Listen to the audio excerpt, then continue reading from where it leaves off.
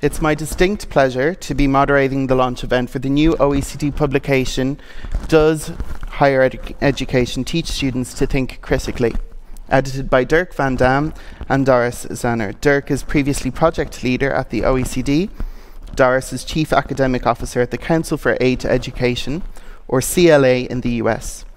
As you will learn in the presentations and discussions to come, this publication explores how a college qualification is not necessarily a guarantee of cultivating skills such as literacy, critical thinking skills, problem solving, analytic reasoning, and communications competency, which, although fundamental, appear to be frightfully lacking in many college graduates today. The work laid out in this report could be considered a continuation of the HALO project at the OECD, which took on the mission of assessing higher education learning outcomes. This undertaking was fraught with heated debate concerning its feasibility, and the OECD could not pursue it further. Nonetheless, interest in the project persisted and was championed by the Council for Aid to Education, which developed the CLA International Assessment. This report compiles data and analysis of this initiative. From the moment I took on the task of producing this publication, I knew we were onto something. It made me think of an assignment I handed in at university, which probably could have been slightly better researched, maybe better formulated with more time to do so. With the deadline looming, I consulted as many sources as, as I could to patch together an argument and reach the all important word count. I thought that I was demonstrating that by quoting information vaguely relevant to the topic, I understood it. Needless to say, my professor, who came to be one of the champions of my academic career, invited me to her office to review this essay. Taking the cap off a red felt pen and highlighting every quote, or excerpt, I would say, exceeding three lines, which I had included as a standalone passage in order to complete it. And she told me that this was not demonstrative of critical thinking. It would be interesting to see what I would have scored on the CLA Plus International Assessment both before and after this exchange with my professor and for this reason I can confidently say that the report is of great personal interest to me. Joining me on stage today are Barbara Ischinger, former Director for Education and Skills at the OECD and promoter of the uh, HALO study, along with Doris Zahner of the Council for Aid to Education, and Dirk van Damme, a previous OECD colleague of mine. Judith Eaton, former president of the Council for Higher Education Accreditation and CAO board member, has joined us online to share her experience and insights, and we will also hear video interventions from Andreas Schleicher, Director for Education and Skills at the OECD, and Bob Yayac, CEO and President of the CAE. Finally, our deep thanks to Zeit Stiftung, who have kindly agreed to host this event in the beautiful Bucerius Law School. And I will now pass the floor to Meinhard Weizmann, CEO of the law school, and then to Tatjana Matthiesen, Head of Education and Training at Zeit Stiftung. Thank you very much to both of you. Thank you very much uh, for this kind introduction, dear Ms. Matthiesen, dear Ms. Ischinger, dear panel, dear participants in the room, as well as all the participants joining remotely. Welcome today at Bucerius Law School here in our moot court. Usually this place is occupied by young students who are interested to learn the rules that are the basis for our society. They have decided to study law. But what does that actually mean, to study law? Of course, legal studies are about the legal norms, about a certain syntax, it's about the context and its interpretation by the courts. But ultimately, history shows that simply studying and learning law is not enough to be a good lawyer. And by good, I mean someone who adheres to the reason of law, as expressed in the quote attributed to Gustav Radbruch law is the will to justice.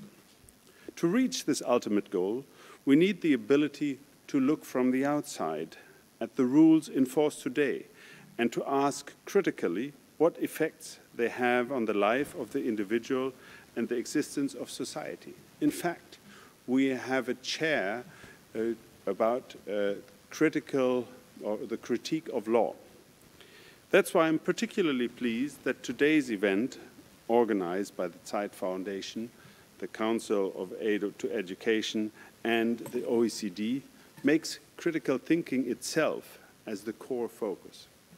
I personally believe, and I do so in the spirit of the founder of the Zeit Foundation, Gerd Bucerius, that overcoming past and present challenges can only succeed if we teach ourselves and above all young people not to accept the circumstances, here in particular the laws, as something given, but to recognize and accept that they can be questioned and potentially changed.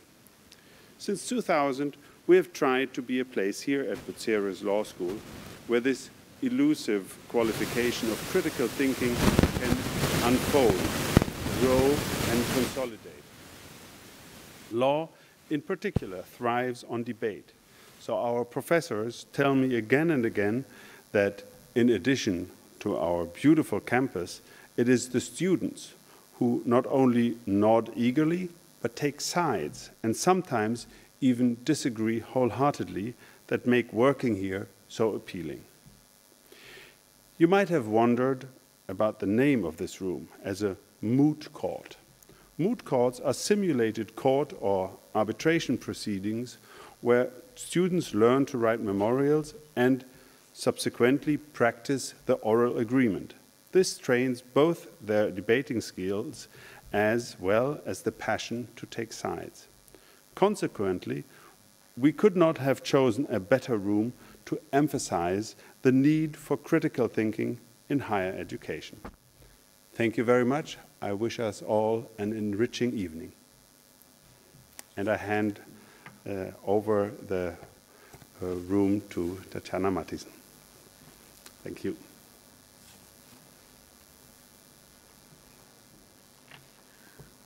Thank you, Meinhard.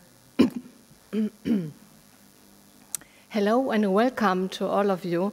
My name is Tatjana Matthiesen. It's a really great pleasure to welcome you here on behalf of the Zeit Stiftung and uh, to the event here today at the Bucerius Law School in Hamburg. I'm also very excited to send a great Hallo und Willkommen to those who are not able to be here in this beautiful town and to be with us with us here today, but they are joining us via Zoom, and I do not know where to look to say all the people who are with us today, which I really uh, appreciate very much. Uh, want to say really hello, and I'm very thankful that you are joining us. When Barbara Ischinger invited us a couple of months ago to launch the book together with jointly with the OECD and the, uh, the Council of Aid to Education, the book on Does Higher Education Teach Students to Think Critically? We did not hesitate one second. We said, of course, yes, we will do that because education, be it the primary or secondary or the higher education and the tertiary section, these are all at the heart of our work in, in, in the, at the Zeitstiftung. The Bucerius Law School is the best example of that. And we couldn't have pulled off this event without the hard work and dedication of Dirk van Damme, of my colleague Katrin Wischert.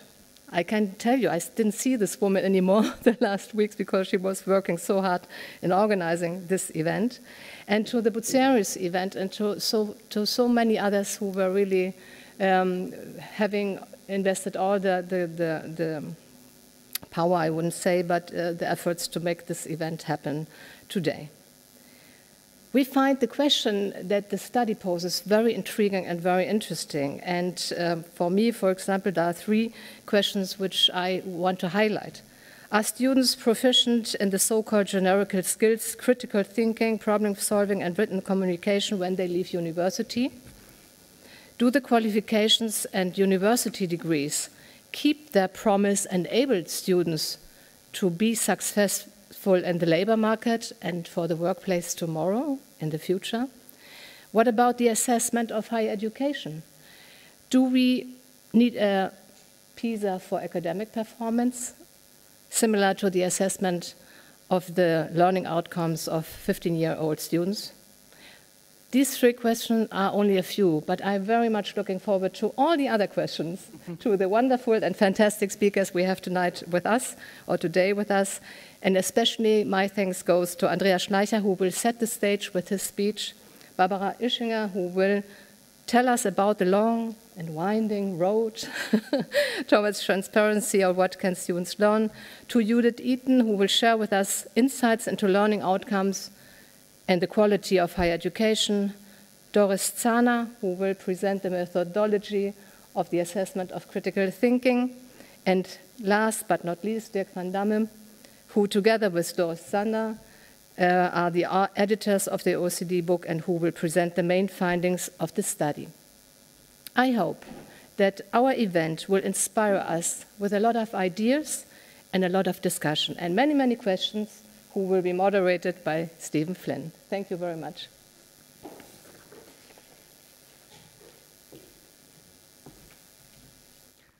I'm Barbara Ischinger. On behalf of OECD, I would like to very cordially welcome all the participants here in the room and, of course, the participants online. And you should know that 1,200 have registered online for this webinar. So this is very exciting. I promise our session will not be dull. You will hear some astonishing and impressive news.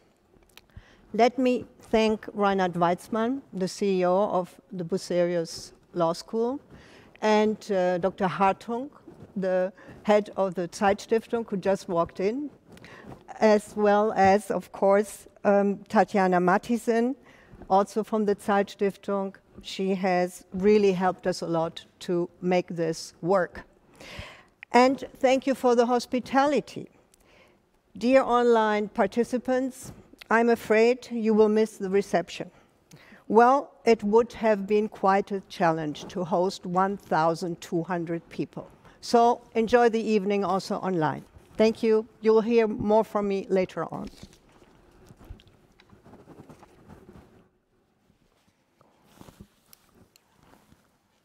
We'll now hear from Judith Eaton. Oh, sorry, Bob, Bob Yayac, the video from Bob Yayac.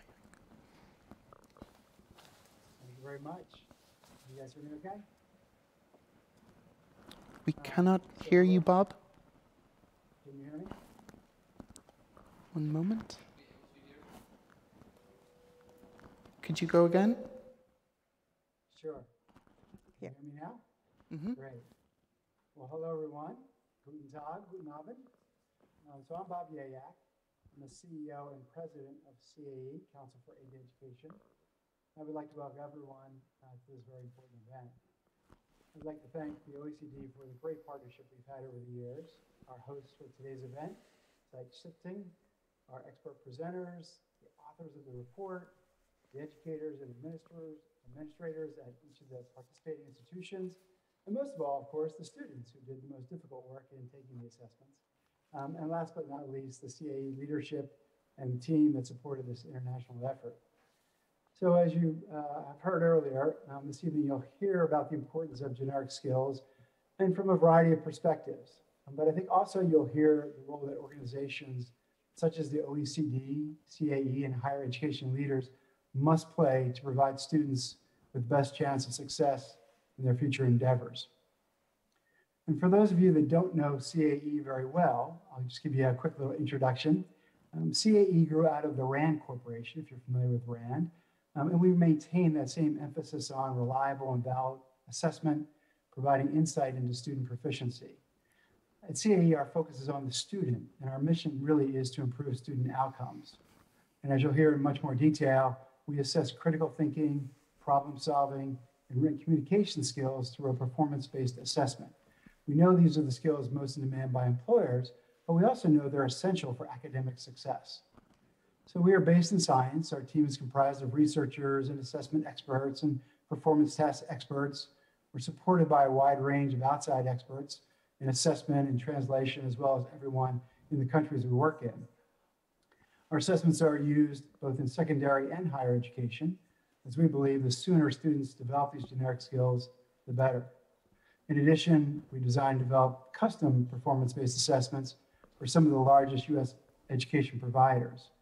And interestingly, we are now working with higher education leaders to create critical thinking skills instruction to support that student improvement and really to answer the question, what do we do with the results of the assessment? How do we help our students? So we're very excited about this book launch today to share our research and insight and to continue our efforts to help higher education institutions improve student outcomes. So thank you very much for joining, and I'm sure you will enjoy today's program. Thank you very much, Bob. We're now going to hear from Andrea Schleicher, who is the Director for Education and Skills at the OECD. My congratulations to the publication. Does higher education teach students to think critically? It's such a relevant question. And at the same time, one for which we have many opinions, but really very little evidence. This is a groundbreaking report that could change that. And it's the result of a really groundbreaking collaboration. On the part of the OECD, the credits go to my predecessor, Barbara Ischinger, who has been really the mastermind, the inspirator of OECD's work on assessing higher education learning outcomes. And also to my former colleague Dirk van Damme, who's been pursuing this agenda relentlessly, despite many difficulties. And of course, it all builds on the Collegiate Learning Assessment, or CLA, by the Council of Aid for Education, which has pioneered and developed the instruments in collaboration with so many participating countries. What I personally believe this work will do is lay the foundations for placing greater weight on the quality of teaching in higher education. Teaching excellence really needs to attain the same status, the same recognition as academic research, which is still the dominant metric for valuing academic institutions. No? And whether you look at you know rankings published by the media or research assessment frameworks or uh, performance-based funding, there are really powerful reasons to change this, and this project could be the cornerstone for that. University qualifications have become the entrance ticket for modern societies now. Never before have those with the right skills had the life chances they have today. And never before have those who struggle with a good education paid the price for that they pay today. I know there are always those who say, you know, the share of young people getting into universities or advanced vocational programs is getting too high. Well, you know, but they're usually talking about other people's children. And in the last century, they had probably argued that, you know, we have too many kids going into high school. The evidence is really clear. On average, across OECD countries, men with at least a bachelor's degree earn over $300,000 more than what they pay for their studies and losing earnings by studying. When you compare that with, with those who've only got a high school degree over their working life. Now. And taxpayers too get over $200,000 more for every graduate than what they invest in them. It's really hard to think of a better investment at a time where knowledge and skills have become the currency of modern societies. And very important, despite the rapid rise in graduates, we've seen no decline in their relative pay, which is so different from those with poor qualifications. But it's also clear that higher education is a really expensive entrance ticket to the knowledge society, not just in financial terms, but also in terms of the time and energy that young people invest in that. And of course, people typically only get, you know, one of those tickets. That makes it so crucial to get it right. And that is all about the quality of learning outcomes. Measuring learning outcomes really helps us keep the finger on the pulse of what really matters in higher education. We all know that longer years of study don't automatically translate into better jobs and better lives.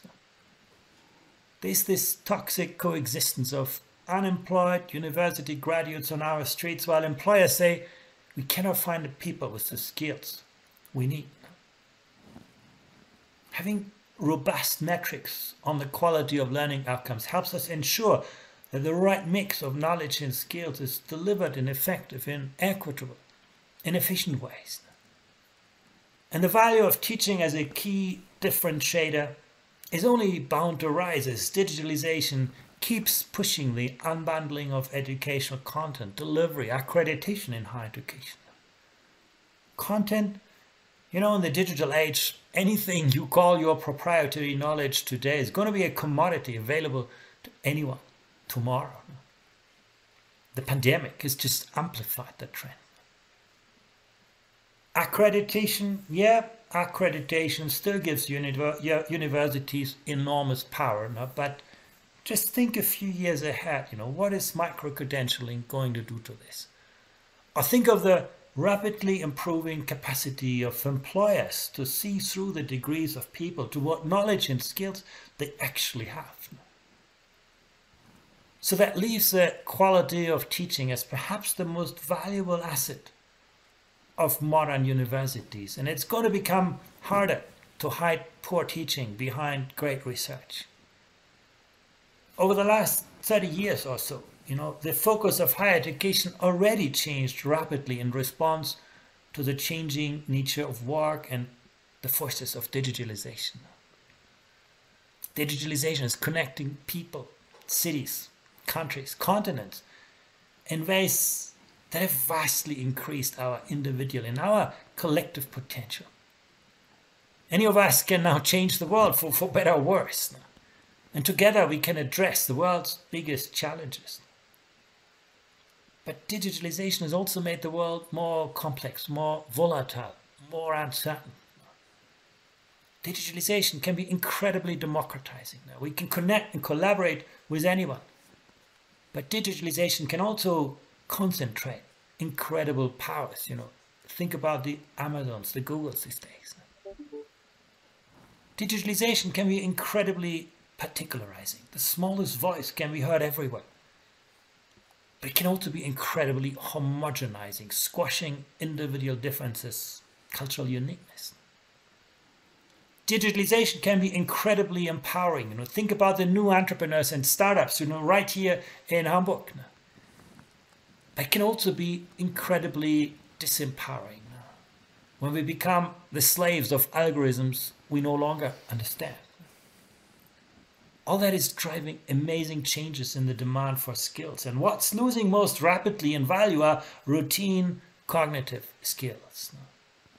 Memorizing something and expecting that's going to help you later in life.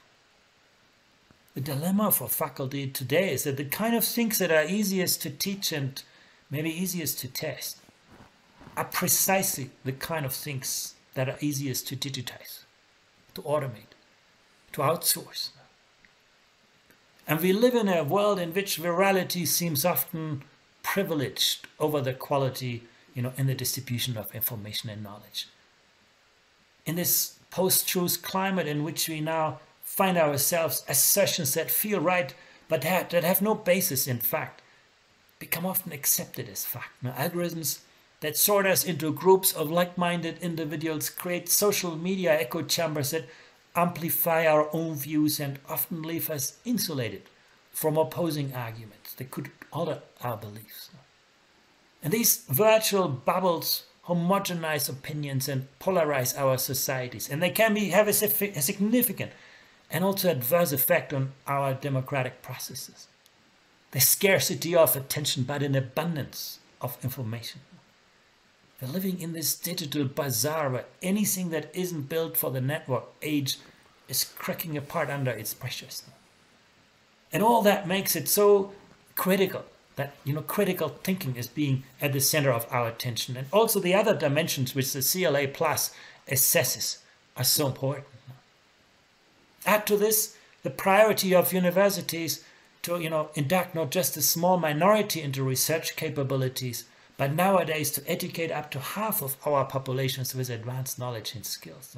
And that's what you see in the rapid expansion of higher education and the establishment of more diverse types of institutions throughout the globe.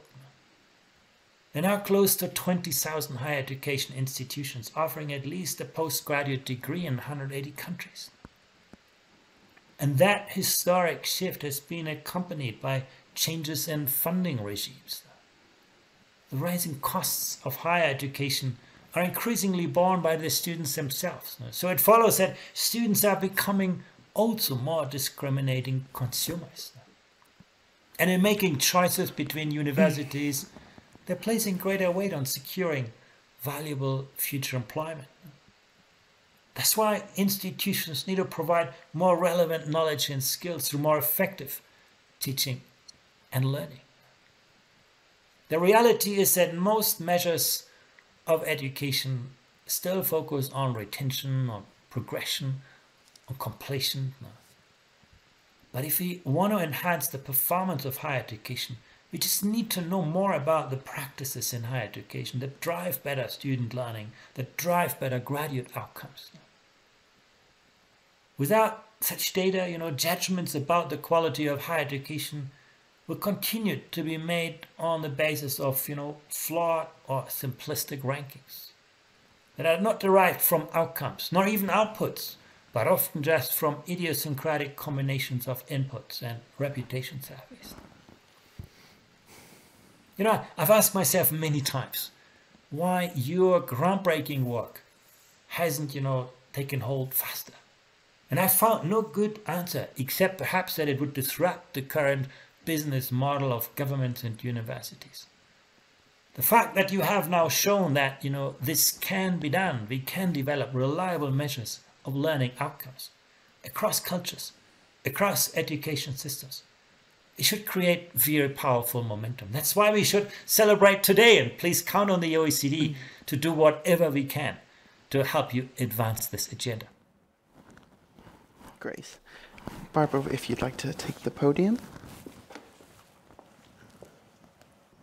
So, the long and winding road towards transparency on what students learn.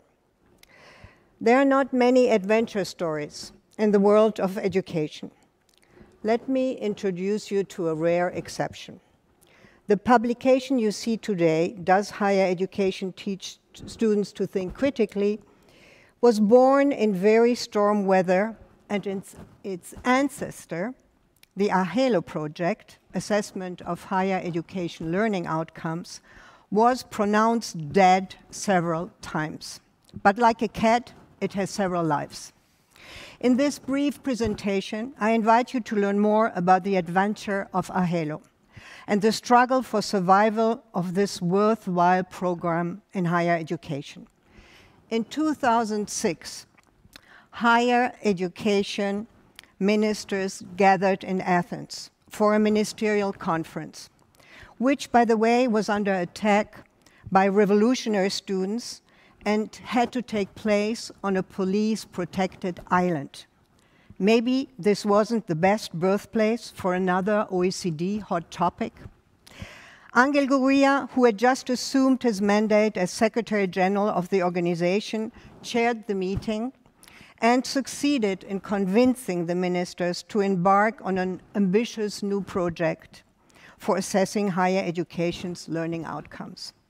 The proposed project fitted well into the main agenda of the ministerial, entitled Higher Education, Efficiency and Equity the success of PISA was on everybody's mind, and the time seemed ripe to initiate a comparable initiative in higher education.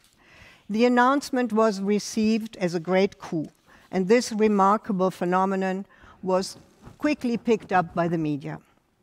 After numerous meetings with representatives of International University Association, of European and international organizations, of national ministries, of individual universities, and also of media. And after heavy preparatory work with international experts in the domain of assessment and higher education, the AHELO feasibility study took off in 2008. I should add here that the preceding session of the Education Policy Committee at the OECD Secretariat felt like it was taking place on top of a volcano. From the very beginning, AHELO had enthusiastic supporters as well as strong opponents. At the Secretariat, we worked hard not only on our presentations for the committee, but also on our hospitality skills to ease the tensions during the evening reception.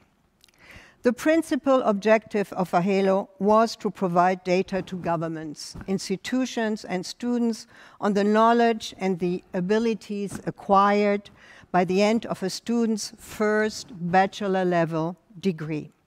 Such data was supposed to serve multiple purposes. One, to allow governments to evaluate the quality of their tertiary human capital among the higher education cohorts internationally. Two, to enable institutions to compare and to benchmark the learning outcomes of their students against international standards in order to improve the quality of teaching and learning.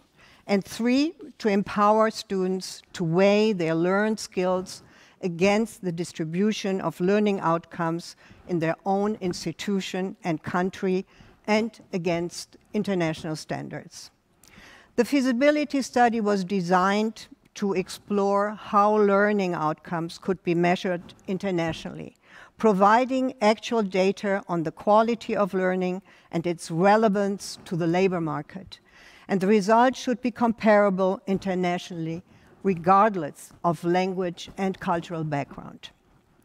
The implementation of the test was a large scale exercise with the participation of a total of 248 higher education institutions in 17 countries from different regions of the globe.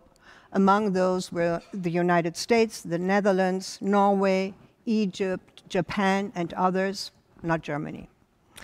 The instruments were administered to almost 4,900 faculty members and 23,000 students, all of them near the end of their bachelor's degree. The OECD worked with a consortium of world experts and international teams in the participating countries. The feasibility study analyzed discipline specific skills in economics and civil engineering, and generic skills common to all students, such as critical thinking, analytical reasoning, problem solving, and written communication. From the very beginning, the AHELO project was received with a considerable degree of suspicion. Governments were in constant fear that AHELO data would be used for ranking purposes or as a basis to reallocate funds. The study, therefore, had two major constraints permanent financial challenges and an inadequate timeline. Nevertheless, the teams worked against all odds. At this point, I would like to thank Karine Tremblay from the OECD, who devoted all her efforts for several years to the AHELO project. Under her leadership, the first volume of the feasibility study entitled Design and Implementation was published in 2012, followed by volume two, Data Analysis and National Experiences in 2013, and finally by volume three in the same year entitled Value Added Measurements and the Conference Proceedings. Despite all the difficulties, the Technical Advisory Board of AHELO, the TAC, composed of international experts, handed down a positive judgment. According to the TAC, the AHELO feasibility study constituted an unprecedented multinational data collection effort at the level of higher education. They stated it was soundly executed and provided many lessons that would inform national assessment efforts for many years to come.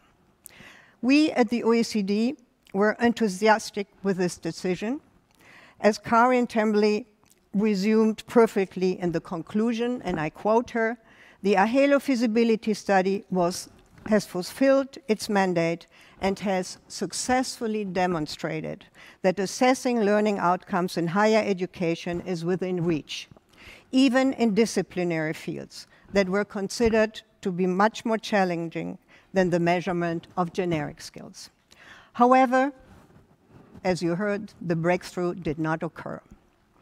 While a number of countries have, stake, have taken steps with initiatives in this direction, like Australia, the United States, Brazil, Mexico, and the UK, there was no majority vote in 2015 for a large scale implementation of the project. Harsh communication, like the one between the American Council on Education, co signed by the Association of the Universities of Canada, with our former Secretary General of OECD, Angel Gurria, is only one example of the mounting pressures against AHELO. The back and forth correspondence was given online publicity, showing how prominent the agenda had become. Today, an online search for AHELO may surprise you with a number of articles and studies that have been produced in the meantime. Personally, I find that governments and national associations are very short sighted. Sooner or later, a single country or a private enterprise will pick up this international agenda and use it for propaganda in some countries or universities. Remember what the Shanghai ranking did to European universities on the research sector? We live in times of the so called science diplomacy, so vigorously exercised by a growing number of governments. What can they deliver and offer in terms of teaching quality of their universities?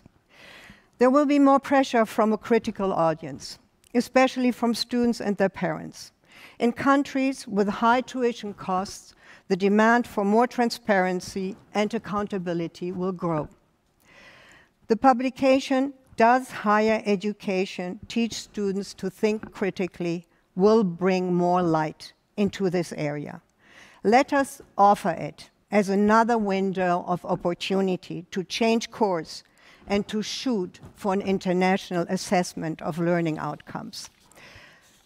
Thank you, Dirk van Damme, and thank you, Doris Zahner, for pursuing this sensitive agenda further, and thank you to all partners involved in this endeavor. Good luck. I wish you success with which your work deserves and may the cat live again.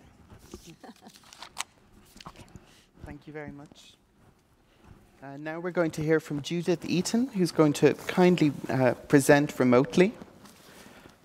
And this is Learning Outcomes and the Quality of Higher Education.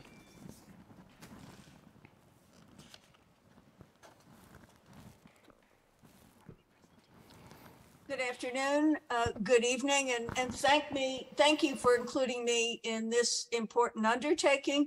Uh, my congratulations to Dirk, to Doris, to the Council for Aid to Education, uh, to OECD. I want to take a few minutes of your time to talk about the in- intersection of critical thinking skills, quality, and quality assurance. And, and to my colleagues in the quality assurance community, a number of whom are participating in this event, I'm offering a, a, challenge.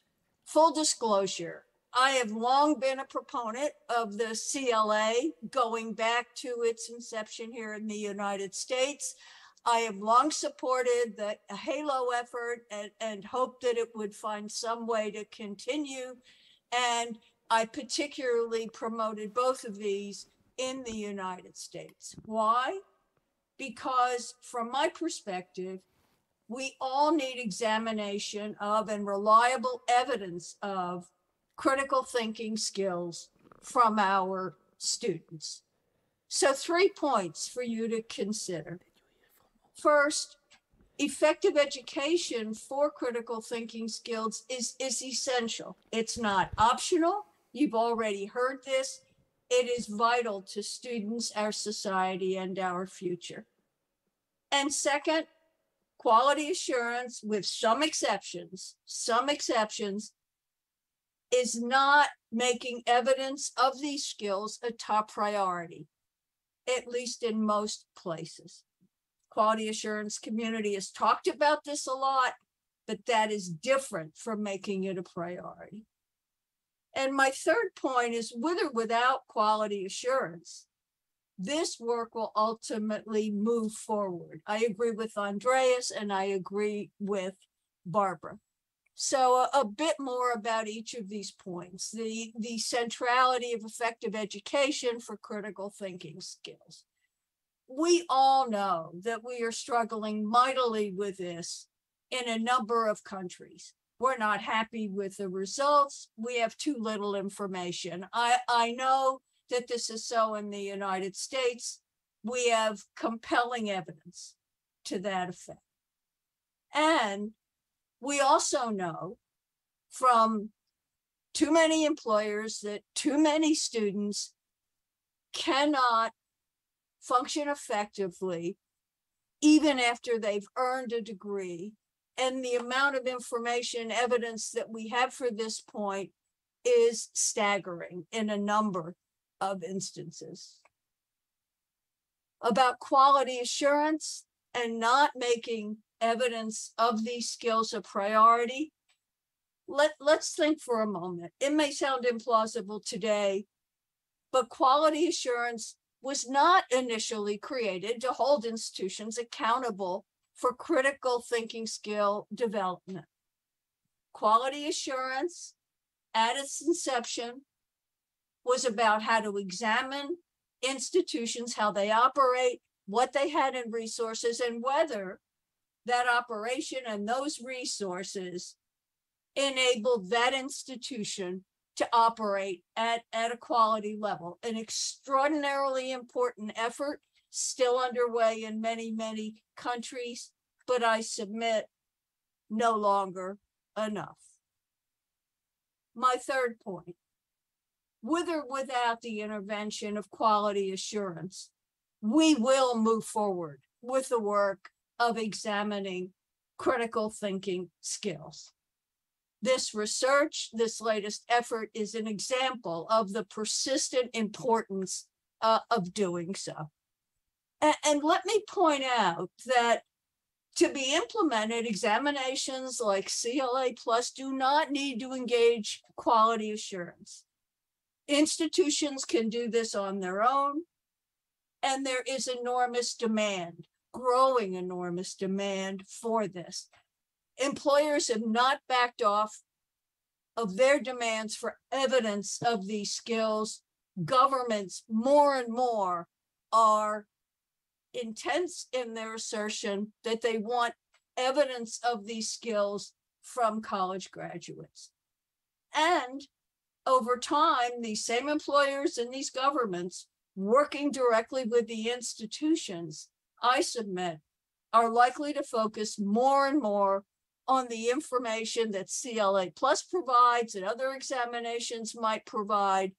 And over time, this information may become more important than the reputation of an institution or its degrees or even its accredited status. So where does this leave us? These are vital tools. CLA, this research, this focus on what students learn, we will all benefit from quality assurance going forward, more robustly engaging this examination.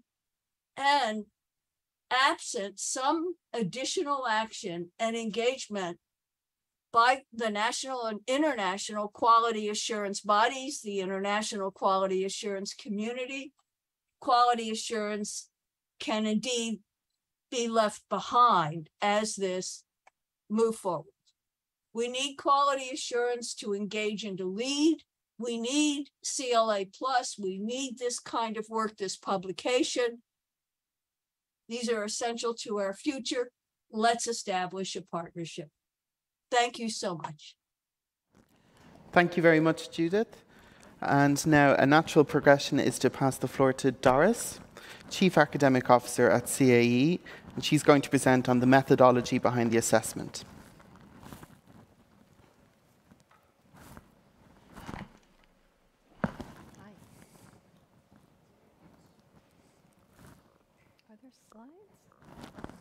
Mm-hmm. Hello, everyone. Um, and thank you for being here both online and in person. It's a pleasure and it's wonderful to be in Hamburg. It's a lovely, lovely city.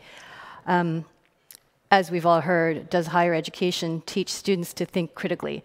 And I'm just going to give you a little teaser because you should buy the book and, um, and read the report. But before I get started, I would like to just acknowledge and thank all of the people that have involved in this. Um, particularly Dirk, we've been talking about this publication for years and years, um, and it's finally here the day, uh, particularly for, the, for us. The OECD and Zeitstiftung and the Bucerius Law School, thank you so much for hosting this wonderful event.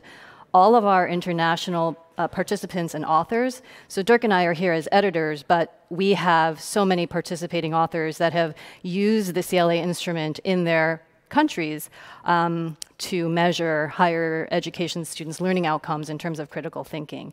And of course, Capstan, who has done so much with us in terms of translating and adapting the assessment. Without them, we would not have been able to administer this assessment in all the various countries.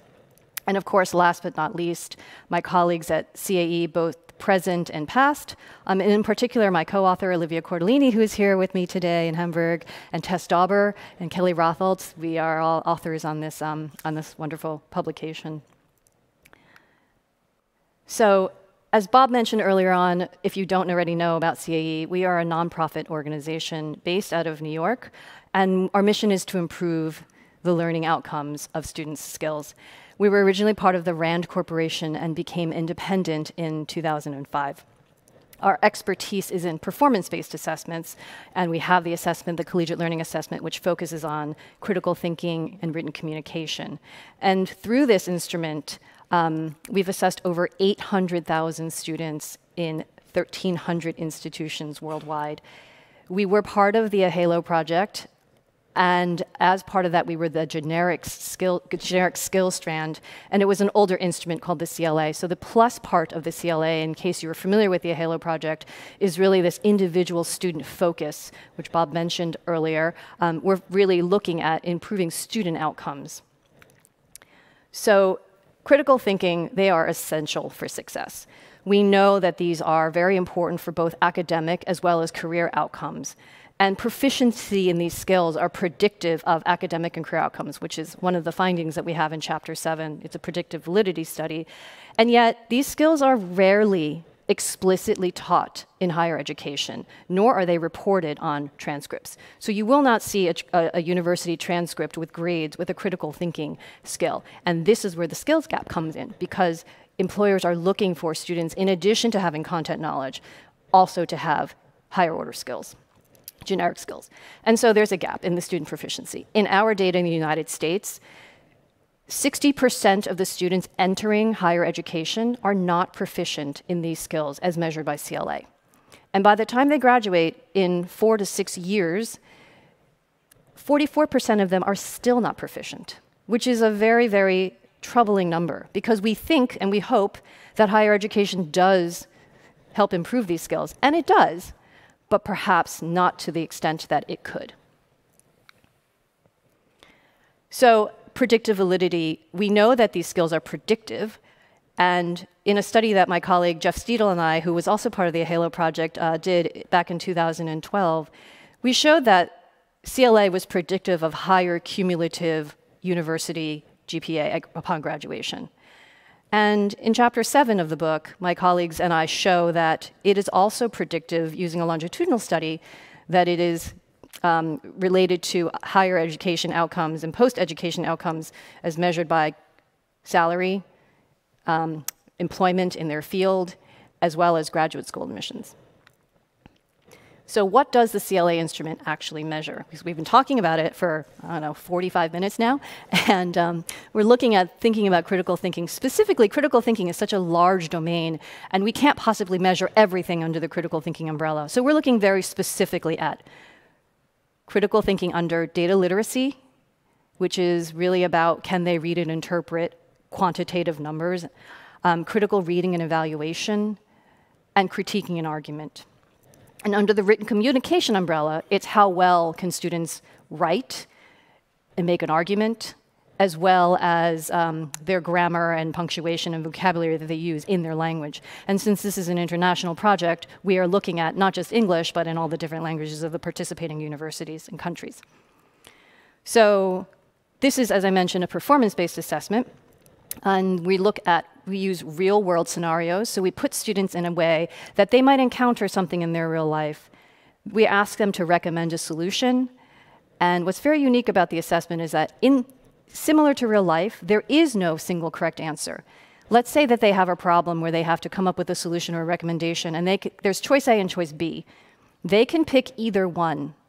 What we're measuring is how they justify and use evidence that they're given in order to um, basically support their decision. And either decision could be correct. Or there is really no decision that is 100% correct, is another way to put it, just like real life. Um, CLA has a 60 minute performance task, so that's the section where they're reading the scenario and writing. And then there's a 30 minute selective response question, which are multiple choice items that are aligned to the same construct under the critical thinking umbrella. And we did this, this is the plus piece, as I mentioned before, to uh, have the individual student reliability so that we could issue reports to individual students to show them that they have these skills or they need to improve these skills. We also worked with Capstan extensively to do the translation and adaptation of the assessment into all these different languages.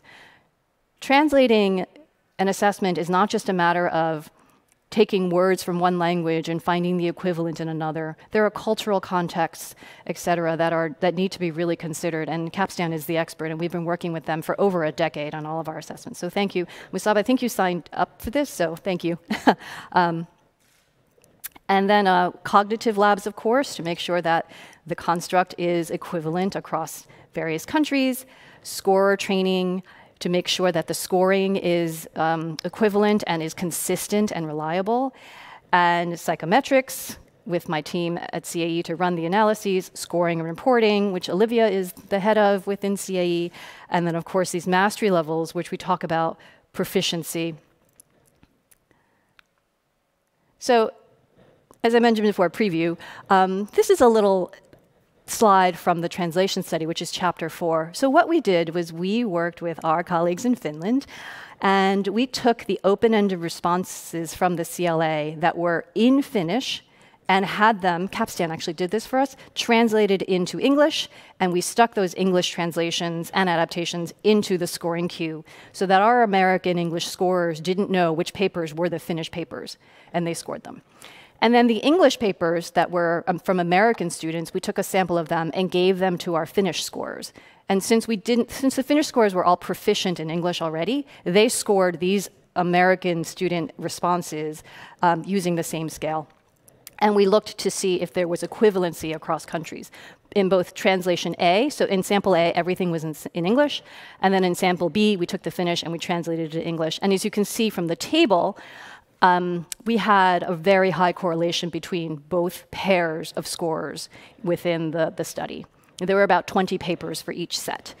And the overall mean scores for the papers for US and Finland scorers were comparable. They were not statistically significantly different. So this is really important because it demonstrates the feasibility of administering an open-ended performance-based assessment internationally.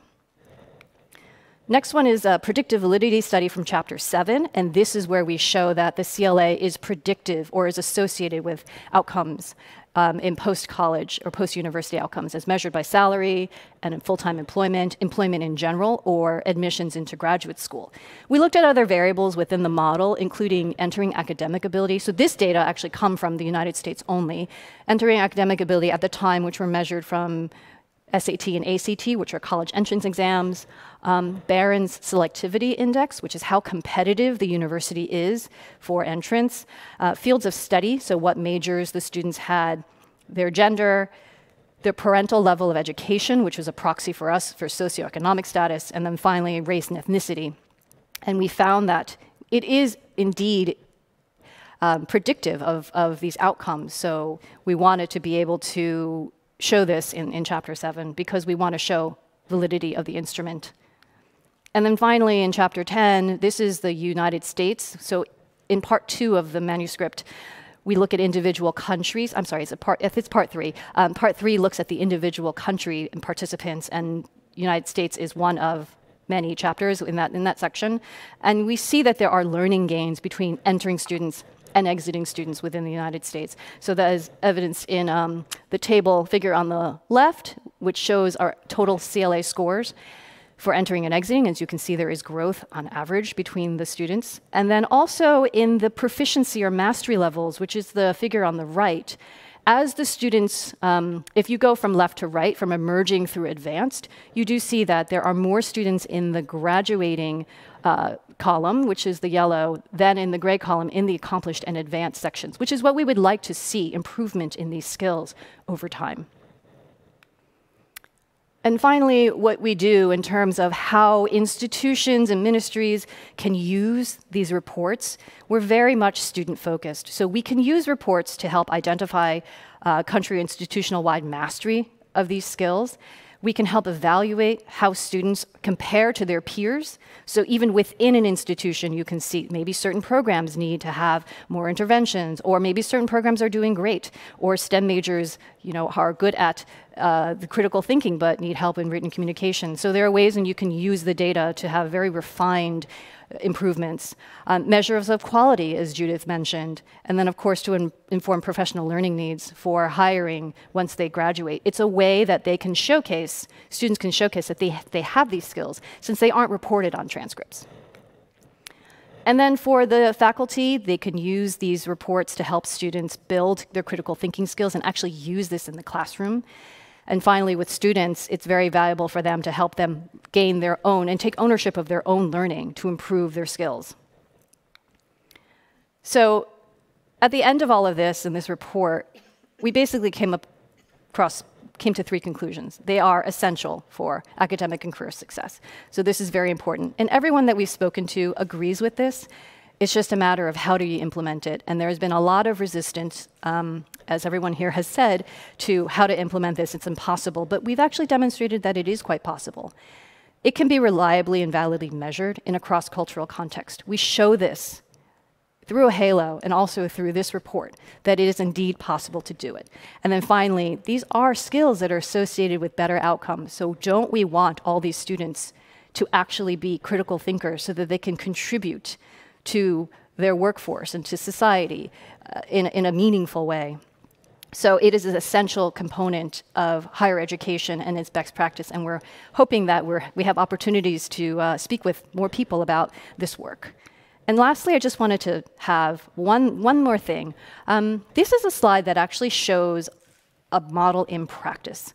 So we have a very large university, public university within the United States called the Texas A&M University.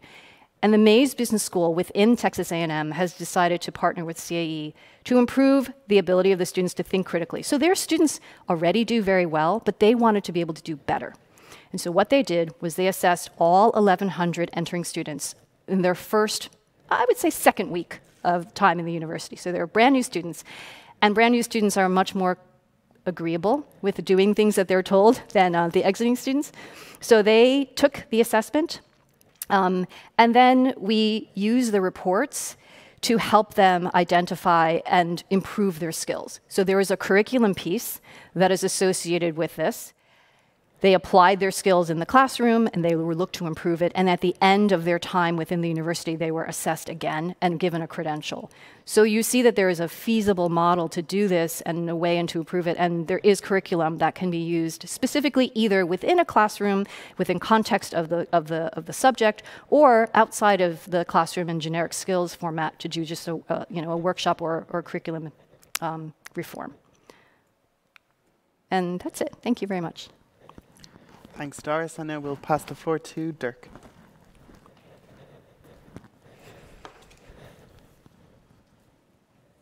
Thank you so much. Good evening, and wherever you are in the world for the online participants. Um, good day, good morning. Um, I'm very pleased to, to be here uh, at the end of a, a very long journey. Um, and I want to thank uh, a couple of people um, before I start the presentation and be sure that's the final presentation. Um, first of all, Doris.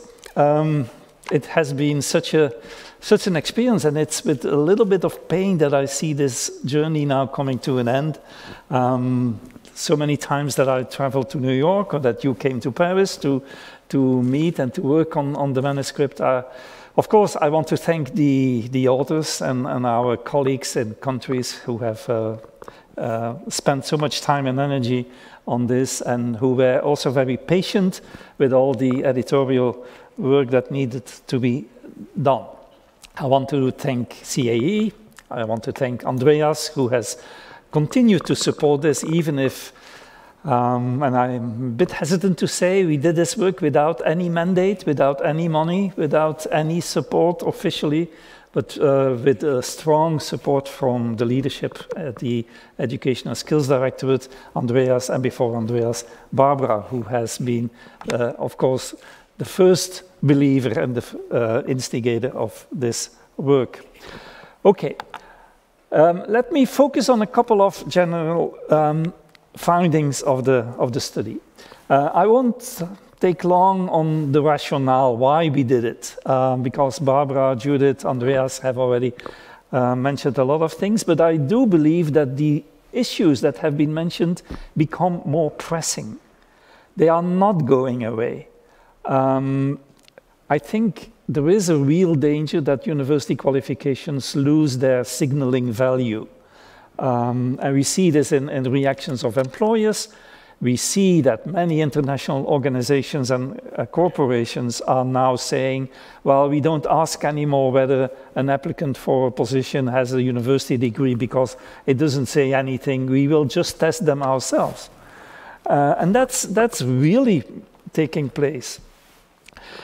Generic skills such as critical thinking are becoming increasingly important. Um, because of technological changes, digitalization, which Andreas also mentioned, um, because of mobility on the labor market, close to 50% of our labor force in, in Europe is working in a job for which he or she has not studied.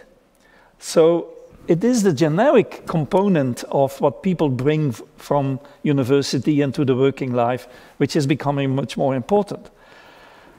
So the, the disconnect between qualifications, what they value, what they signal, and the skills that are awarded in the workplace, that's becoming a real risk for higher education. And if higher education is not taking this risk serious, it really takes a very challenging future. So we, we don't have a lot of data. That's already very clear. We don't have metrics on what the student learning outcomes can be, on teaching and learning quality, despite um, the fact that universities say, yeah, that, this is our primary mission. Um, but we are evaluated on the basis of our research, we are evaluated on the basis of our internationalization effort, of our uh, connections to industry. But the primary mission of teaching and learning, we just don't know what's happening.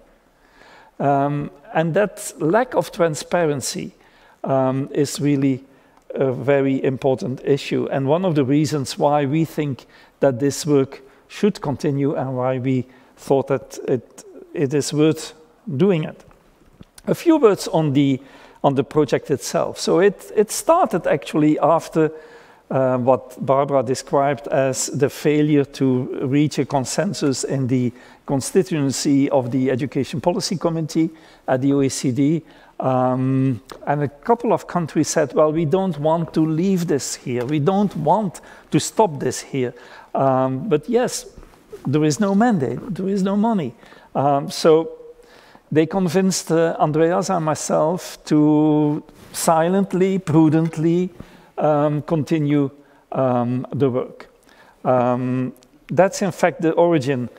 So between 2016 and 2021, um, we have been working patiently with um, a number of, of countries. Originally, there were more countries than the ones who are now in the book, because some dropped out, um, some showed interest and then they came to meetings and then they left. Um, so the potential was bigger, but the, let's say the six countries who are now reporting their results in the book, they are the, the diehards. They did really, uh, they were the strong believers and they moved the project um, forward. The OECD did not provide any financing. All the efforts uh, at institutional and national level were financed by institutions and countries uh, themselves. CAE provided the instruments, provided the, the data analysis, uh, the psychometrics, the translation efforts, etc., etc. So a big thank you for that. And the role of the OECD was to be a kind of platform to coordinating efforts, to bring people together, to discuss issues, um, and to uh, see where this could uh, go. Um, in this effort, um, over 120,000 students have been tested. Um, most of them, of course, in the United States, where CAE had this long tradition um, of doing the, the assessment. Um, but also, uh, as you know, in, in other countries, uh, Italy was the first to follow the United States, uh, Mexico, the United Kingdom, Finland, and Chile. So, a, a very interesting global distribution, very different countries, very different higher education systems, which yeah, created a lot of challenges, which uh, Doris mentioned in translating and making sure that the instrument is uh, behaving in the same way in cultural different uh, contexts, etc. So you see the numbers of students tested uh, in these um, five years, five, six years. Um, all countries did uh, implement the test for entering students and um, exiting students except for Italy. Um, so when we look at learning gain, we uh, don't have data for Italy. Um, that's a, a, bit a pity, uh, but all the others um, did as well. Very different uh, systems, and you will see in the country chapters that the um, country experiences are also very divergent. Um, and it was, uh, yeah, it was a difficult effort to bring this together and to make one story out of it. Um, we did this by pulling all the data together in one big international database and to make sure that the data were matching each other and that they could be um, compared. And I will give you just a few highlights from the analysis of this big international database. Um, in line with what Doris mentioned already for the United States, um, the average of all the country averages is that 45% only of the tested students are proficient in critical thinking and the skills that the CLA Plus instrument is testing. Um, this is not much. This is not something to be proud of. Uh, if we say to the economy and to society and to the labor market, yeah, um, only not even half of our students at universities are able, are proficient in critical thinking. This is not a very beautiful message to bring. But there are enormous differences between countries. There is an enormous uh, difference in the minima and maxima that you see in the table here. Um, but even more problematic, I found, is that the number of students or the percentage of students at the highest level of proficiency is so low. Um, and if you look at the definitions of the mastery levels, that's not extraordinary. You, you would expect an academically trained person yeah, to, to be proficient at that level. But we speak about 1.7% on average. Um, in best country, 3.7% uh, of, of, um, of students. And uh, in contrast, one in five, but again with differences in some in, in one country even 41%, are behaving at the lowest proficiency level. Let me focus then on learning gain, which means comparing the results of entering and exiting students. Um, so entering uh, first year students, exiting in the final year of the first degree, which is in most countries a bachelor degree, but can be a three-year degree or a four-year degree. Um, so what's the difference between the proficiency level when they come in and when they leave? That's actually the question that we ask with regard to learning gain. And on average, again, the result is, is yeah, is a bit problematic. Only 2.7 percentage points difference between those two cohorts. Um, it's not this longitudinal. It's not the same students that we test in the entering and then exiting in. So it's comparing two cohorts um, of students. So the learning gain in critical thinking, it exists. It is not what we aspire or desire that it would be. But again, huge differences between countries. You see it, and I'm coming back to this with this slide. You see the five countries which have data on learning gain, so not Italy. Um, deliberately, we did not name the countries for the simple reason that it would just be methodologically not correct. We don't have representative samples. We have countries with small sample sizes, um, and on the basis of two to 3,000 students, shaming and blaming a country is not what we want to do. We just want to highlight differences, um, and the differences are real between countries, but maybe with representative samples they would look um, differently. But you see that, and that's, I found that very, very interesting, that the arrows in the five countries are not the same.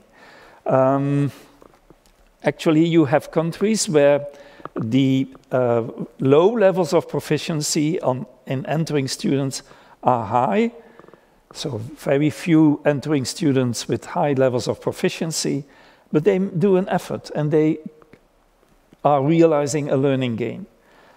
Country C does not realize any learning gain.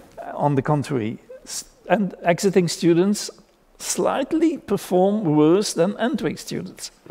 But country D has already a high level of proficiency with entering students, and it even succeeds in improving the proficiency when students leave. So the message is, it is not about selection effect, because that's an argument that you often hear university saying we have to work with the students that we get in, and it's all the fault of primary and secondary school education. No. Of course, you work with the students that you get in, but you have the possibility to do an enormous pedagogical effort and to bring students to a higher level of proficiency, like country D is doing, and in some degree also country E. So the learning gain is completely independent from the proficiency level of entering students. So that's where the teaching and learning quality comes in. It's not only determined by the students that you get in, there is a possibility of realizing a very high teaching and learning quality environment which makes students develop those skills. The second question that we asked is, what is the role of social background, of socioeconomic status? Uh, and we know from PISA that this impacts very much on student learning outcomes. Um, one of the follow-up analytical questions that I have is, I want to compare the impact of socioeconomic background in PISA with that that we found in this study. But intuitively, the impact in higher education is a bit lower than in secondary school education, which is maybe understandable. But parental education background plays a role. Uh, it plays a role, um, and it means that there is a selection effect in the, in the students entering universities. They are not equally distributed, they are not uh, fairly distributed um, in society. But interestingly, also the learning gain is affected by socioeconomic status, in this case, parental education background, which is a reliable um, proxy for socioeconomic background. Um, so the learning gain, at least among non-US countries, is slightly higher when the parents have a higher education qualification. Um, so that's, that's an interesting observation. But in the United States, that's not the case. And that's, I found that one of the most interesting findings of the report. We have the idea that the United States higher education system is highly inequitable, that it's um, that it has a lot of inequity built in it. And in Europe, we sometimes say, well, we are proud that we have more equitable, equitable access.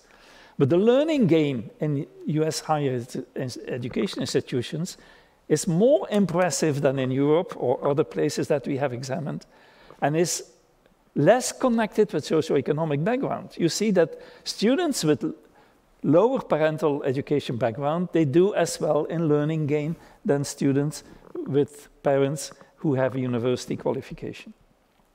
Only in the US, not in the other countries. And the next question, I forgot the number I used. Field of study. Are there significant differences between fields of study? And the answer is yes. And this is not surprising because uh, in US data before this project, uh, we already saw um, differences between fields of study. And it's very strange to see business studies so low. Uh, and the, the, the, the, difference is, is really significant. On the top are humanities. Humanities really do a good um, uh, effort in, in raising critical thinking skills of their students.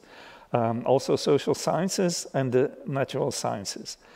Um, more applied fields of studies do less well, um, which is actually a, a, little bit problematic. I would not, I don't find it a positive result that critical thinking is associated with very advanced academic learning, like in the humanities, social sciences, and natural sciences.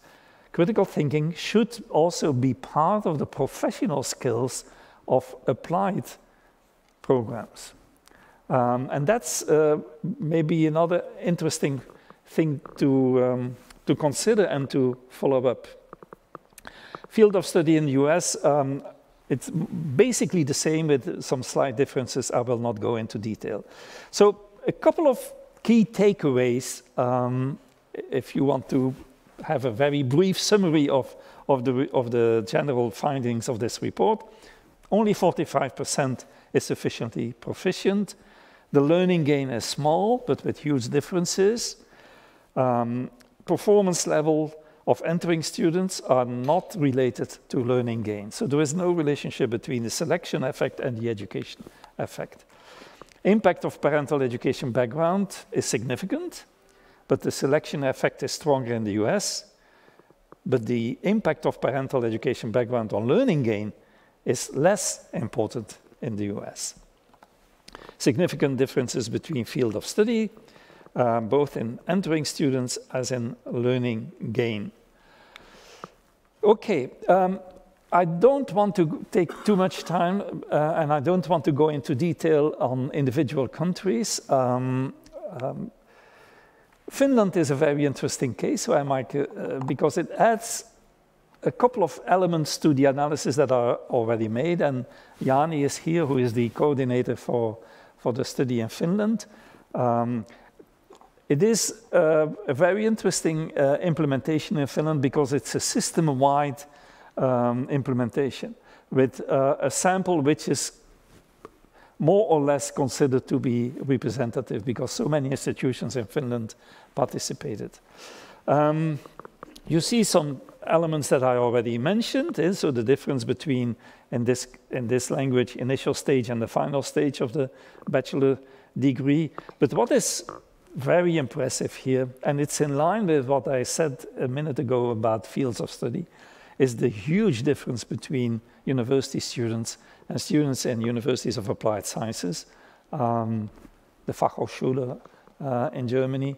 And for countries with a binary education system uh, in higher education, um, I think this is a very important observation. It needs to be replicated in other countries with a binary system, um, but it's something that uh, is specific uh, to those systems because of course, in the United States, you have an enormous variation of, of, um, of institutions, but it's not possible to link that to, for example, the Carnegie classification in the United States or uh, whatever. But in Finland, this is possible because you have those two big um, chunks um, in the system. Um, also very interesting in Finland, in the Finnish chapter, is the gender differences in favor of female students. Female students score significantly higher than uh, male students. This could also be the case in other European countries. Um, and again, uh, as in other countries, a significant impact of um, students' prior educational trajectory and uh, family background. England is also an interesting case because there the implementation of uh, CLA Plus was part of uh, uh, a government initiative, the Teaching Excellence Framework, and it was actually meant to be a diagnostic tool for institutional improvement, not so much for accountability reasons or quality assurance reasons, but for institutional um, improvement. And I think the chapter describes very well how institutions can use the CLA Plus to improve their teaching and learning. And Mexico uh, is also a very interesting case, but because there it's implemented in a huge um, um, university system, univer the system of the University of Guadalajara, which is about hundred thousands of students in many, many campuses. Um, what is unique there is that the University of Guadalajara is using the CLA Plus as one of the formal assessment tools for students at graduation. So it, it, takes a formal place in the uni university career of students. Um, but what is yeah, also striking in Mexico is the enormous impact of poverty of students and of geographical um, disadvantages uh, because those campuses are located uh, in so many different uh, areas. So the power of geography place here in Mexico. Okay, I will finalize. Um, you have to take into account the limitations of the study, even if I'm very proud and very um, confident about the study. We did all possible efforts to, to guarantee the methodological qualities and to make sure that what we say is supported by, by the evidence in a, in a scientifically um, robust way. Um, there are limitations we don't have representative samples. Sample sizes in some countries are, are not, uh, not sufficient even, maybe. Um, and there is a selection bias. That's probably one of the biggest challenges that um, students drop out of the test, do not complete the test, um, stay away because they are not obliged to take the test. So there is a, there is a real selection bias. Um, and we also found that student engagement, there is a very nice section in, in the book, I forgot in which chapter, about student engagement and effort. Um, we see a very clear correlation between the effort that students took in doing the test and the results of the test. So um, student engagement is a very important um, element. And um, I think uh, a follow-up study should really take this forward. But the positive conclusions is, first of all, it is feasible to do this. Critical thinking is a difficult construct. It's not uh, so easy to test as just content um, in, in a certain discipline. Um, so it is uh, difficult to do, but the instrument is there. The instrument is valid. I, I can really with, I'm, i have no stakes in CAE, but with the hand of my heart, I can say this is an excellent instrument. It does what it's supposed to do. It does it well. Uh, the psychometrics are fine. Uh, the reliability, the validity, predictive validity, all aspects are fine. It's not evident to develop such an instrument. Eh? Um, at the beginning of this effort, I actually did um, a, a study of all possible instruments of generic skills in higher education. And there the, actually, there's a long list. I came up with maybe 30 different instruments available in the world. Um, and because I was a bit afraid of the criticism, yeah, OECD is again teaming up with CAE, and why CAE? And that was an argument during AHELO, um, etc. And OECD has to have good reasons if it partners with a with this uh, organization. But the quality of the instrument is what is really convincing me.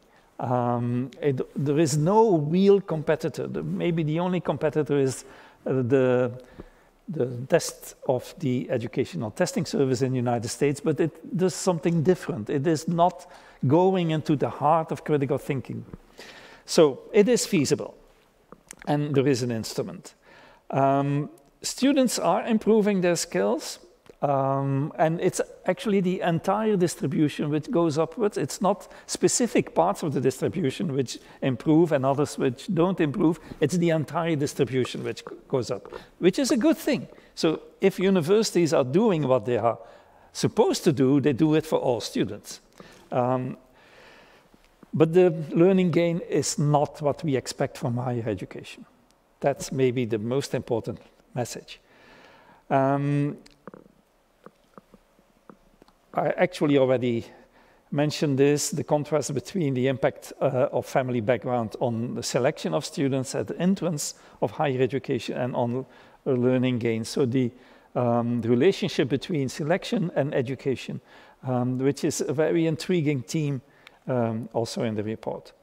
Political context is very important. All countries have mentioned this in their uh, chapter. Um, if there is political support to do this, both at the national governmental level and at institutional level, it, it, it is a success. You can do, you can do it. If there is no support, it is very, very difficult to do. Um, and we have seen this, of course, in the history of AHELO as well. As in PISA, and Germany is, of course, an excellent place to say this um, with the PISA shock, um, but assessment drives the reform agenda in education um, the reform of higher education, updating it, improving it, modernizing it to the needs of the 21st century, will only be possible if there is a reliable assessment. Um, that's, that's a fact of life. Um, you can have all kinds of ideas and political visions about higher education. If we don't have the data, if we don't have the assessment of what students actually learn, there will be no reform of higher education. Um, so that's a lesson from PISA and a lesson from this exercise as well. And finally, student motivation is critically important. Uh, I, I, know that CAE is thinking of all kinds of developments to improve student engagement and digital badges, for example, uh, a student having a kind of micro-credential able to show to an employer, I succeeded in this test. Um, the students need to have something that answers the question, what's in it for me, in order to drive their motivation and their effort. The prospects are, yeah, it's an open question. Um, there are real prospects. Uh, I hope that this book uh, triggers countries and institutions to move forward because it is a major tool, not only for benchmarking and accountability, but also for quality assurance, for improvement, for students, and for employers, for the stakeholders in higher education. And I'm apologizing for taking too much time, but I thank you very much for your attention. Thank you. Thank you, Dirk. So we're now going to open up the floor to a question and answer session. Uh, we'll do it for half an hour till 8 p.m. before I close it and we'll take questions from both the room and all of you that have been participating online. Um, so I must admit, Doris, we got a lot of comments when you presented. A lot of people want to ask you questions. Yeah. So I'd like to start with you. Okay. Um, first of all, could you elaborate a bit on the psychometric validation of the assessment and how is proficiency determined? So, for example, when you say that uh, a percentage of students aren't proficient. Um, so we conducted a standard setting study where we convened a panel of experts that looked, that actually took the assessment themselves and then set standards or descriptions of student, how should I put this, um, of student performance and these characteristics that demonstrate the different levels of proficiency. So emerging and developing each have their own set of skills that they can do, but a lot of the description is how can they improve to become proficient. And so proficient, accomplished, and advanced, the students earn proficiency and they're able to do, you know, for example, they can read the documents and they can answer the question and come up with a recommendation, but they aren't able to cite all the evidence, or they're not able to refute and look at the counter argument. And as they become accomplished and advanced, they're more able to do that. So it was done with a standard setting study, which is standard practice for assessments. Mm. Brilliant, thank you. Um, Dirk, a very interesting question for OECD um, staff or previous staff. How much is the learning gain of higher education measured by CLA Plus in line with findings from PIAAC? yeah. Um, I think grossly it's rather in line. Um, so, but PIAAC, of course, is an assessment of different competencies. It's uh, literacy, numeracy, and, and, problem solving. There are some constructs and, and, also items which come close to what is assessed in uh, CLA+. It would take a very interesting study to compare the two. Mm. Um, maybe that's something for the PIAAC team to pursue once the new uh, PIAAC data come out in, in 23. Um, but we saw more or less the same kinds of tendencies uh, in, in the PIAAC data, and I reported on, on a couple of them in, in the first chapter of the book here. Um, so, yeah, unexpectedly high numbers of students with low proficiency. Um, and, and so there is, there is some analogy between the two, but yeah, you should not confuse the different constructs. Eh? With this, the two are assessing different things. Um, PIAAC has its value for higher education. Uh, it has shown that um, a qualification is not signaling the same level of skills even in the Bologna area. Mm-hmm. There are so big differences between some countries in the Bologna area, even if they now use the same qualifications. Um, so that's something that we learned from PIAAC. But um, I think this study and, and the CLA Plus is going much more into the heart of what an academic education mm. is. Um, it is supposed to be about more than literacy, numeracy, and uh, problem solving. Mm-hmm. Great. Are there any questions in the room? Yeah, um, yeah, Manuel Hartung. I'm with the Zeit Foundation. Um, so let's try to transform that intriguing results into the practice of universities. So let's let's imagine uh, you'd consult university leaders. Um, let's say here at Bucerius Law School or at the University of Hamburg, close by. What would be your recommendations how to reshape the curricula or reform um, the teaching agenda, the teaching style uh, you have? So what's your like five point program all universities uh, leaders should put into practice? Yeah, that's um, truly excellent question. Um, there are some hints in the book.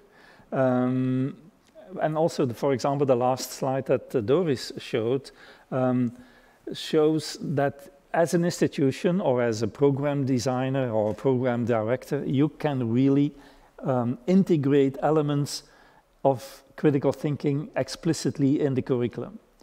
Um, I personally think that it goes, and I have been a university professor for many years myself. I have seen things evolve in, in my own university, my own faculty. Um, critical thinking uh, is something different than moving to um, testing regimes, which we know are now dominant in universities. Um, the, the writing academic papers is not always seen as a valid assessment tool for, for, for students.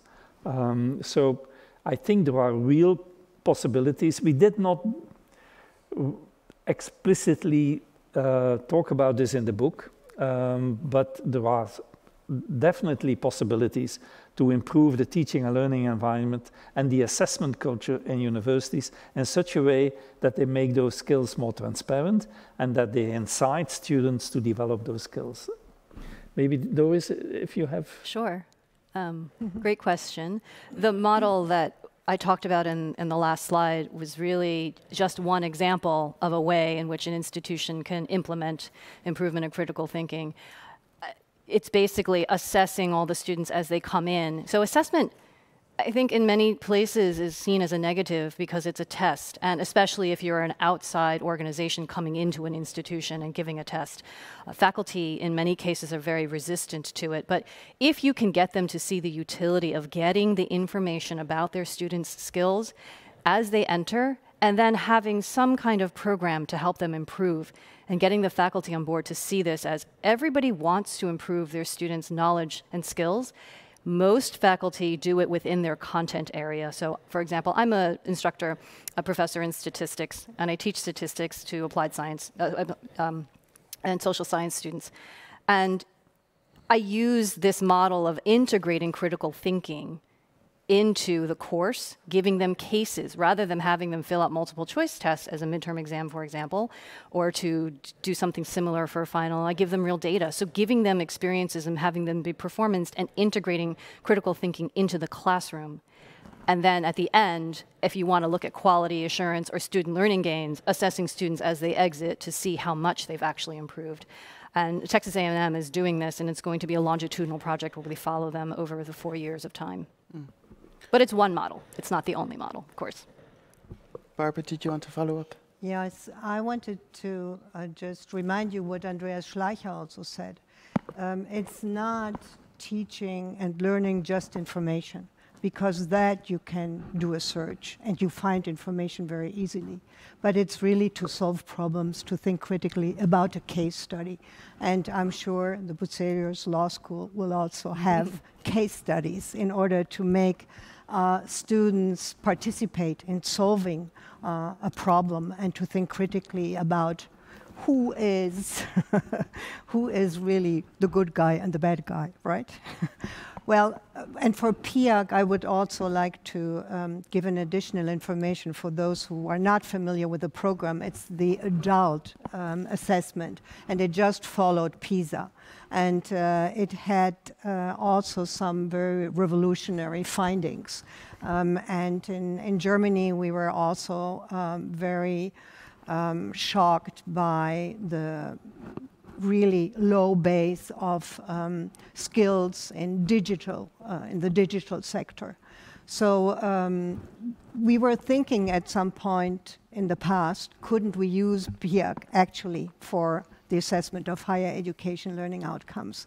But the bridges were too difficult and the partners were different. But I think it would be great if some of these findings could also be combined to your new results. Mm. Thank you, Barbara. I actually want to ask you another question. Uh, uh, well, it starts off as a comment. Don't university, universities cater to demand the latter of which are money and growth based, biased to please investors, is there not a conflict of interest in assessing critical thinking? Um, well, I think universities can do better than that, and um, they can uh, also convince employers um, how they go about it. And it's the transparency that really matters, um, how they use these instruments. And I think um, that can be done and that can be bridged. Yes. Um, Tatjana? Thank you. I was wondering when I studied in the United States, my, uh, I was asked to uh, provide the university with language proficiency, the TOEFL test, and also the GRE. And I asked myself if this is not an entrance for a GRE for critical thinking, for, for assessing at the right at the beginning, in the middle, and at the end. So university, as you said, Doris, they can do that by themselves. Uh, we actually, great question, Tatjana. We actually looked into using CLA as an entrance assessment. Um, mm-hmm. And the, in the United States, at least, the two other college entrance exams are the SAT. The two college entrance exams are predominantly SAT and ACT. Um, and they're no market for that because it's a barrier from the discussions that we had uh, with admissions officers. It's a barrier to entrance. It's another barrier to entrance into university. And the model that we came up with was you the students are already having to overcome these things to reach the university and once they're there that's when you can measure them in terms of where they are, where they start from, and where you can get them. So as you see in the data, as Dirk was showing, there is a huge opportunity for learning gain. And if you know where your students start from, then you know what the interventions are. So really there wasn't, there was a lot of resistance to this idea of having another test be for college entrance, but there's very much we see a need for it to be used for students once they have entered university to get them the opportunity to, to grow their skills. Thanks, Doris. Um, we actually also have a question of the provision of micro credentials sure. for cri uh, critical thinking. Um, so how do we know that we measure by a test a construct that can be fairly labeled as critical thinking? Um, are you sure that we can measure it, uh, assess it, certify it? Critical thinking and problem solving per se, they're not related to a specific field of study. Um, and if yes, please justify. Sure. Um, so this is a question that AHELO, it was very much part mm. of AHELO. Generic skills and the whole book this book shows us that indeed we can do this. We can measure generic skills, critical thinking. And as I mentioned in my talk, we're not claiming to measure all of critical thinking. Critical thinking is a huge domain. We measure very specific subcontracts, uh, subconstructs within critical thinking, analytic reasoning, problem solving, and then the communication pieces.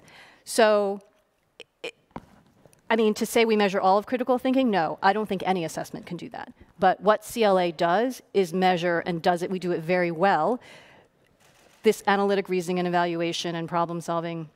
We've demonstrated this successfully um, through the multiple countries where we've administered this. And if you'd like to know more about the methodolo methodology, you can read the chapters in, mm. the, in the manuscript. Yeah, Thanks, Go into much more detail. Thank mm. you.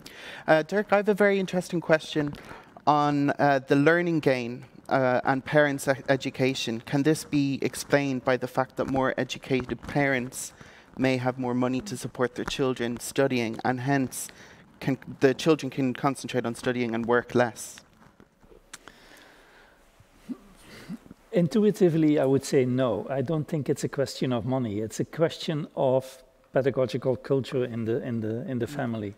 Um, and that's why we tend to use at the OECD parental education background as a better proxy for socioeconomic status than income or uh, employment levels of, of or occupations of parents. Uh, so because we think that in education it is really about the, um, the stimulating family environment, um, reading books, having access to information, have, having discussions with parents, uh, uh, at the dinner table. Mm. Um, that kind of, of issues are uh, supporting uh, not only cognitive skills of students, but certainly also the, let's say, the advanced skills that we are now talking about. Um, so uh, for maybe financial resources do play a certain role if you are limited in uh, your learning uh, opportunities because you have to earn uh, the money for your own study um, that can have an impact. But I'm not a big believer in the um, in, in, the fact that everything is economic or financial. Mm. I really, of, because I am biased, I'm a pedagogical researcher by nature, so I believe in the power of pedagogy mm. and the power of having a very stimulating parental environment. Mm. Thank you.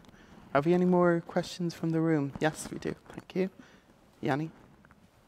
Thank you all, to the, all the presenters. My question probably is something that I should ask at, as a final question, but nonetheless, I will ask it now. Uh, as we already heard from Barbara's presentation, AHELO was very controversial undertaking, and now that we listened to what uh, we, we heard about this latest book, it seems that for sure it's feasible to measure the learning outcomes of undergraduate students, whether they are generic skills or something else.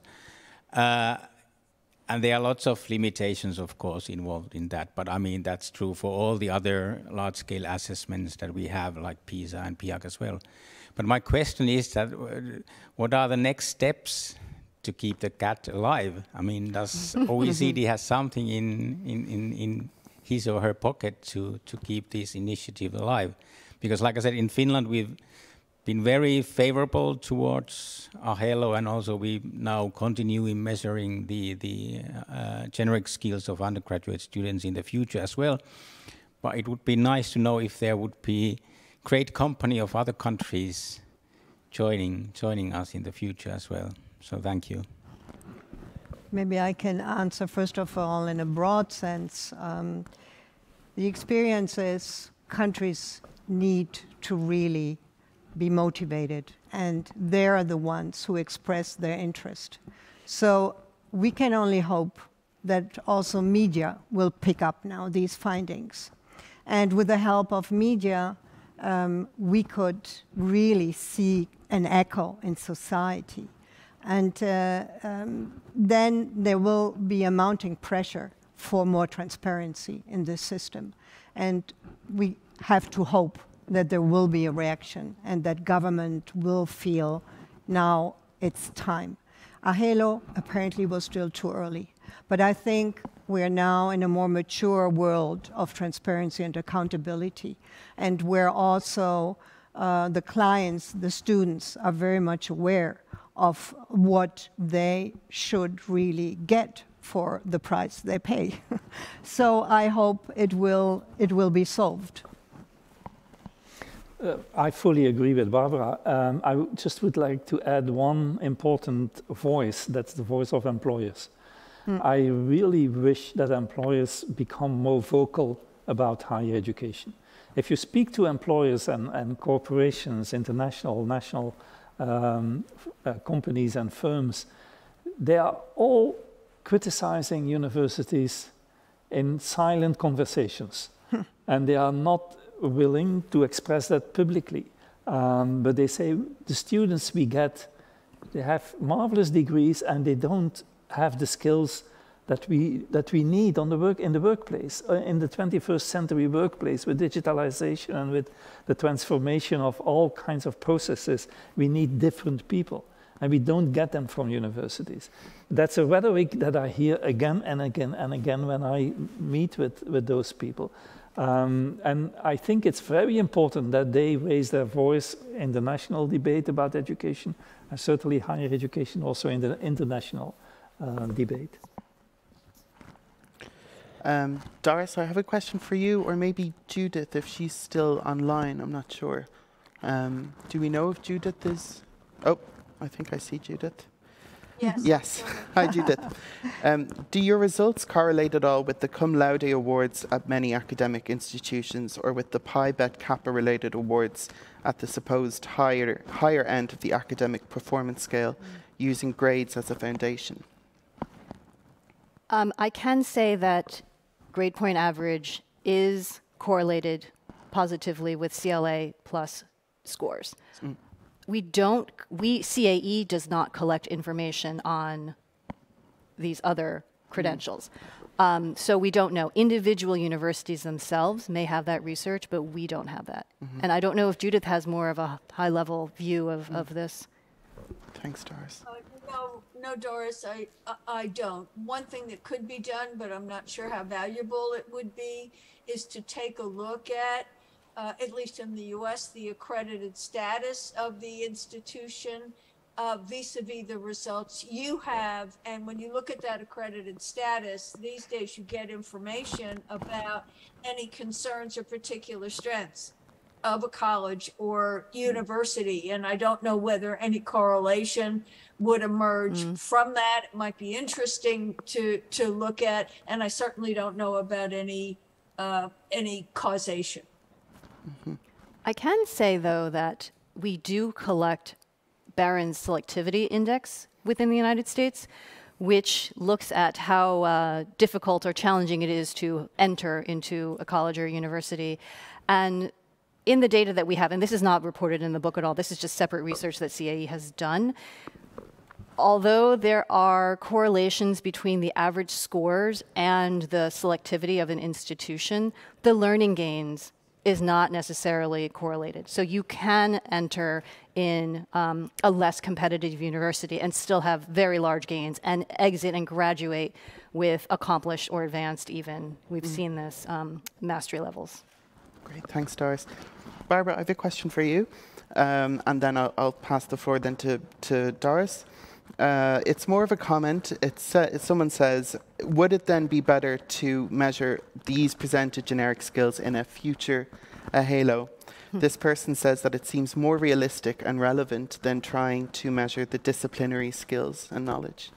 Um, so what would your opinions be on that on a future iteration? I think that would be a good way forward. Mm. And uh, as we have seen, um, even the generic skills uh, could be reflected in different disciplines.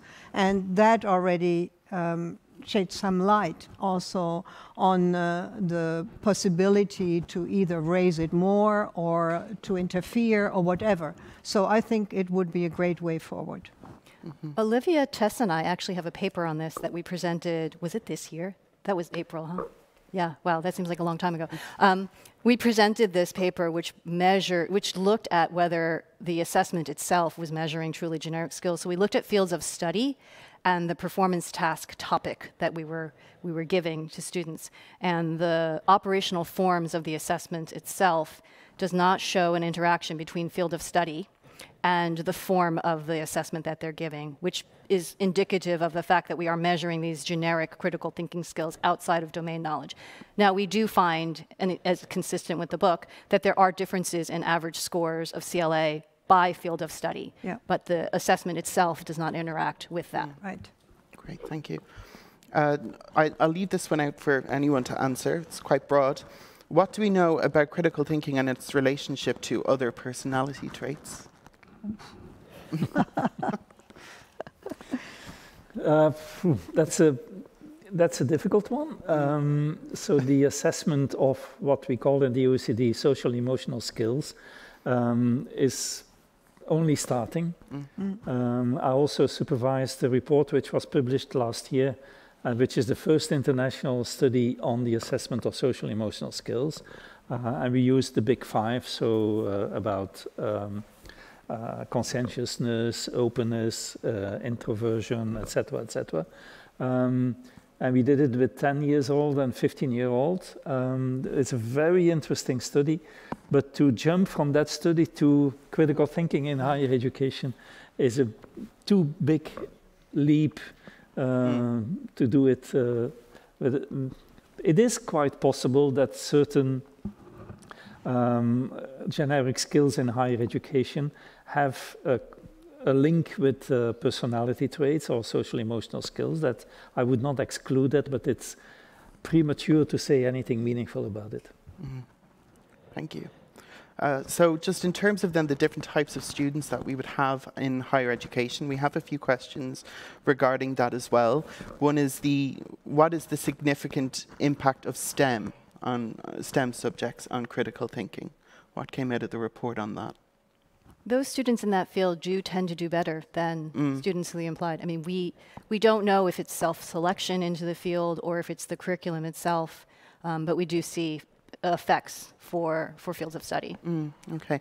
So then, as a follow-up to that, Doris, uh, humanities and social sciences, mm-hmm. um, they they're said to be doing well in critical thinking. Correct. But these genres are not very popular in job markets. So this person asks? Uh, I would argue that that's not necessarily true. Okay. I mean, I think you can have a career as you as as um, Dirk mentioned. There are students who are in different fields professionally than what they mm. what they study exactly. within the university, and that's what generic skills are for. They're good for. If you are proficient in these critical thinking skills, um, you can potentially work in other fields other mm. than outside of, of yeah. social science. I fully agree. I would not like to buy dinner for all philosophy graduates uh, entering computer sciences. Mm. um, so um, I, I, personally think that the humanities are in a process of revival after many years that they have been a little bit in the in the in the corner uh, because of utilitarian tendencies at universities, the emphasis on STEM, etc., uh, etc. Et but I do think that there is scope for um, yeah, a, a, bright future for the humanities. And the fact that they are scoring so well in, in, in critical thinking is probably a good sign for that. Mm. Great. Do we have anyone else in the room that would like to ask a question? No. I, I have two more I'd like to ans- ask. All right. So the first one, I'll direct it mostly to Judith and, and Doris. Um, so someone has asked, will there be a follow-up study? Can an individual university take part? What is the future of the assessment, and what would you like viewers of this webinar to take away from this meeting? Uh, great questions. So yes, you can. Any individual university can absolutely participate in any level. If you want to look for institutional learning gain for quality assurance, we absolutely have that available. Um, if you want to do the model like I mentioned, where you're assessing your entering students, that's available. The instrument is very flexible. So I think my contact information is somewhere. Mm. So please reach out, and I'm happy to send papers, et cetera. Um, and the assessment itself is continuing, and we have participating institutions globally, mm. mostly within the United States, um, but internationally as well. Mm. Great. Um, I'd like to wrap it up because we're getting close to dinner time mm-hmm. with a sort of a dinner party question. Um, I think it's unfair for us to make the title of this publication a question without actually asking all of you your, your sound bit. Mm. Does higher education teach students to think critically? Who goes first? Uh, the answer is yes, but yes, but not sufficient. Mm. I agree. I think yes, and we can do better. Mm-hmm. Yes, more efforts have to be made, and let's hope that this study will be a wake up call. Yeah. I think that's it then. I would like to thank you all for coming, for your very interesting questions.